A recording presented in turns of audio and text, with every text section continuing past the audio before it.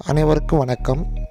இந்த வீடியோவில் read along ஆப்பை பயன்படுத்தி ரீடிங் மாரத்தான் போட்டியில் எவ்வாறு கலந்து கொள்வது என்பதை பற்றி பார்க்க போகிறோம் இல்லந்தேரி கல்வி மையத்தில் வரும் அனைத்து மாணவர்களையும் ரீடிங் மாரத்தான் போட்டியில் எவ்வாறு ரீட் அலாங் ஆப்பை பயன்படுத்தி பங்கேற்க செய்வது என்பதை இந்த வீடியோவில் பார்க்குறோம் இதற்கு முதல்ல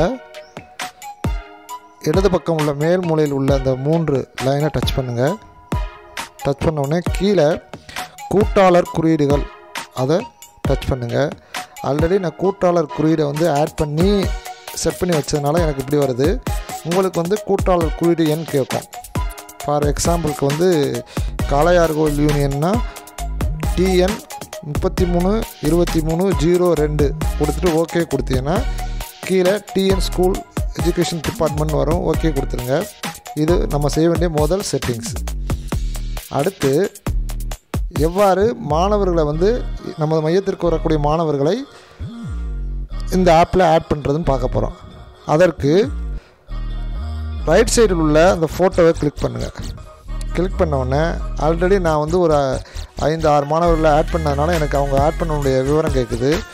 நீங்கள் உங்களுடைய மாணவர்களை ஆட் பண்ணுவதற்கு கீழே பார்த்தீங்கன்னா புதிய சுய விவரத்தை சே அதை டச் பண்ணுங்கள் டச் பண்ணவுடனே நீங்கள் யாரை ஆட் பண்ணணும்னு நினைக்கிறீங்களோ அந்த மாணவனை வந்து ஒரு செல்ஃபி எடுத்துக்கோங்க. ஓகே கொடுங்க. கொடுத்தோடனே அந்த மாணவனுடைய ஃபோட்டோ வந்து அந்த மூளையில் அந்த ஃபோட்டோ டிஸ்ப்ளே ஆகும்.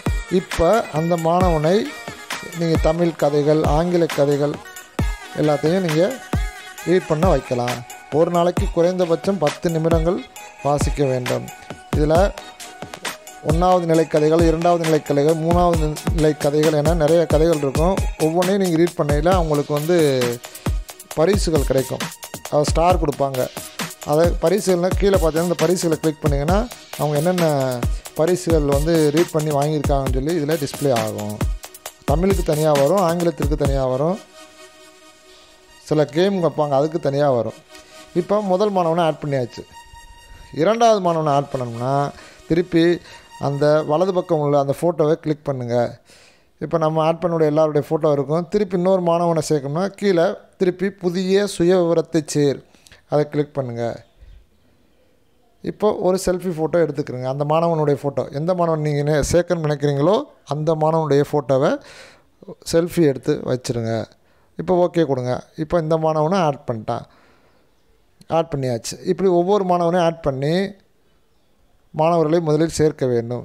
இப்போ மாணவர்களை ரீட் பண்ண வைப்பதற்கு இப்போ முதல் மாணவனை ரீட் பண்ண வைப்பதற்கு அந்த மாணவனுடைய ஃபோட்டோவை டச் பண்ணோம்னா அந்த அதுக்கான ஸ்டோரியில் வரும். அவன் எந்த ஸ்டோரியை வாசிக்கிறானோ அந்த ஸ்டோரியை வாசிக்க வைக்க வேண்டும். தமிழ் மற்றும் ஆங்கிலத்தினுடைய கதைகளை வாசிக்க வைக்க வேண்டும். நமது மையத்திற்கு வரக்கூடிய அனைத்து மாணவர்களையும் இப்போட்டியில் கலந்து கொள்ள வைக்க வேண்டும். இந்த போட்டியானது வருகின்ற ஜூன் மாதம் ஒன்றாம் தேதி முதல் பன்னிரெண்டாம் தேதி வரை நடைபெற இருக்கிறது. அந்த நாட்களில் அதிகமாக வாசிக்கக்கூடிய மாணவர்கள் மற்றும் நேரத்தை பயன்படுத்தி நமது நமது ஒன்றியத்தை முதலிடத்திற்கு வர அனைவரும் முயற்சி செய்யுமாறு கேட்டுக்கொள்